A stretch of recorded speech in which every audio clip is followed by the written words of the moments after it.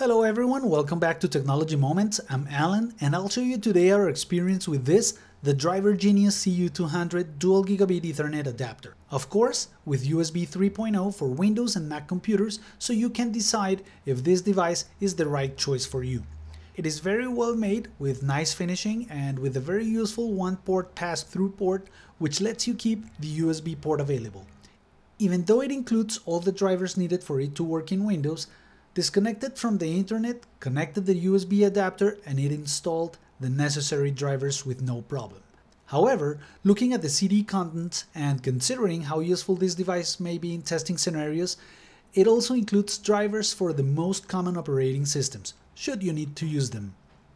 There are many situations in which you may want to use a dual Ethernet adapter, and as a tech pro, enthusiast, or power user, it is a must to have one of these. I'll try to show you a few of these very quickly as an example of how you can configure bridging, multiple gateway handling, internet connection sharing. Well, there are just too many lab scenarios you can have. However, we were not able to identify if this device was fit for connection teaming, so we might not be able to advise you in this matter as after many tests, link was not successfully established. We will let you know if this is a feature that you might be able to use with this adapter at a later video.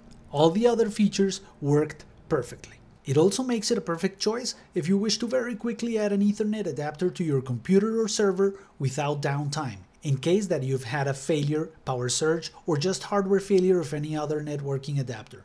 We also used it for almost a month in a very demanding PC that shares files and folders in our network, offers remote desktop connections, and of course also tested it with our lab virtual machines for which connection bridging was necessary and worked very well with no issues at all.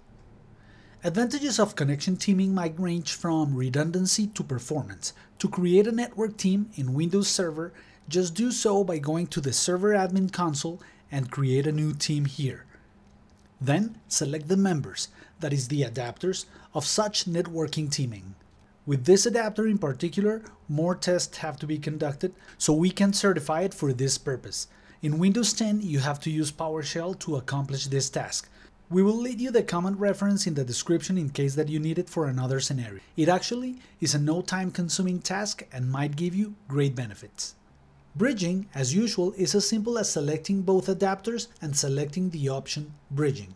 This will allow you to have different network segments on each adapter and will only jump to the other segment once the address is classified as from a different network. Handling multiple gateways will let you give preference to one or the other using the metrics value, for which the lower, the more important. Uh, and finally, sharing an internet connection that for many testing purposes might be a very interesting option to have or to handle through Windows. This adapter may be of great help for those testing scenarios too.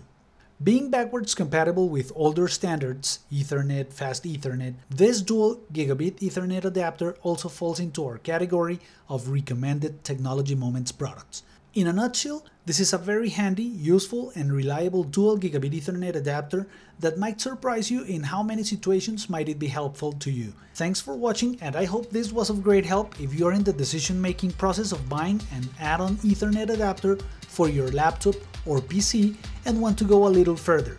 Please support our content creation by subscribing, liking this video, and checking our previous evaluations. See you next time.